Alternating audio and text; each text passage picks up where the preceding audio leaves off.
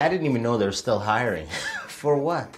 Anyways, uh, welcome. So this is how we do the aisles. As you can see, completely congested. We like to create a sense of confusion. Our prices aren't competitive, but we pack a lot of things into tight places, and we hope people either buy stuff or get the hell out, right? That's why there's really no rhyme or reason for how we do our aisles. Confusion, hopefully whimsical purchases, right?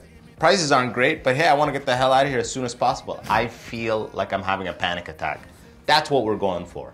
Uh, don't be afraid to quickly walk away from a customer if they've already seen you. There's really no shame in that. Or if you'd like to ease it up on yourself, try the FBI walkie talkie. Hello? Oh, oh, and you're off. It works every time.